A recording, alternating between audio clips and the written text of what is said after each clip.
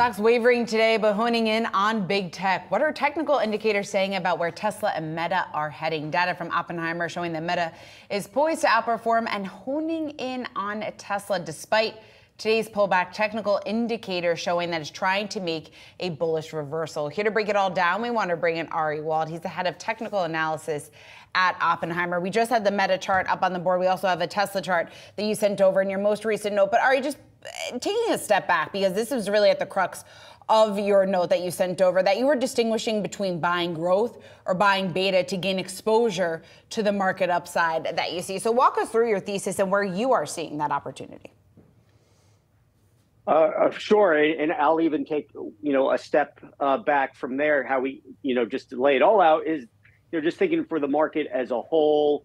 Uh, I think the key positive here is that market breadth remains firm. It argues against a major top and instead supports higher highs looking out into year end. We have a new high in the NYSE advanced decline line. We got the equal weighted S&P 500 coming off new cycle highs and the percentage of NYSE stocks above their 200-day average coming off uh, a level of 66%. We said I think as long as that reading's above 60%, it's a, a healthy reading. So for all these reasons, we do think that the bull cycle is intact and it's positioned to um, move higher into 2025. As far as exposure, uh, there there was some uh, uh, changes in the leadership backdrop during that late summer move. That we we had a change in the high beta versus low volatility ratio. We had interest rates break lower.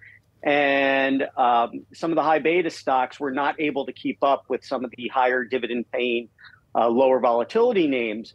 Um, and so for market upside, you know, we would love to see beta come back. I, I, think it would be important for the cycle if it can reclaim that leadership role. But really, the more compelling idea here for uh, for us is buying these higher growth companies. I think the scarcity premium comes back uh, against a lower growth backdrop for these names. Thinking about the NASDAQ 100 as a proxy for that, or just the Russell 1000 growth. It has underperformed since the summer, but I think through this rotational nature, it is set up to lead again. It did a good job holding up support levels, uh, and so for that reason, um, you know, it's for us, it's growth for the long term. I think this is a growth and tech-led secular bull, and then on a near-term basis, it become tactically attractive uh, to buy that style as well.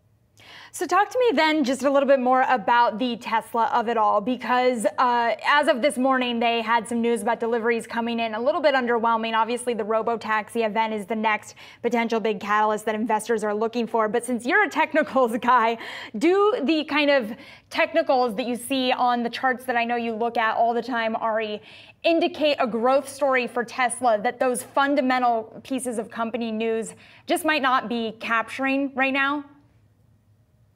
Well, it's uh, one of the Mag Seven stocks that has had a difficult time in recent years. It's it's it's technically been making a series of lower highs, but it's starting to make uh, some higher lows as well. So it's been in this narrowing range, but we're starting to see some signs, and I guess we're siding with the fact that you have some top-down strength just based on the support from these uh, higher, you know, large cap growth companies. That this reversal uh, should ultimately resolved to the upside. There, there's more that's needed. It's more of a rotation idea. Uh, but uh, there are some signs that the, the trends are showing incremental improvement and uh, could continue to grind higher. I think really the, the standout idea, the leadership name would be Meta Platforms, a name that had been in a consolidation range and through that summer volatility showed terrific resilience and relative strength. And now, as market conditions firmed, is breaking out to the upside. So for us, it's meta for leadership. I think that's perhaps the most constructive and, and bullish Mag 7 chart. And then for rotation, uh, looking at a, a, stock like Tesla, which is not yet at, at new all time highs, but over the coming months to perhaps quarters, maybe got to give that one a little bit more time, it could ultimately get there again.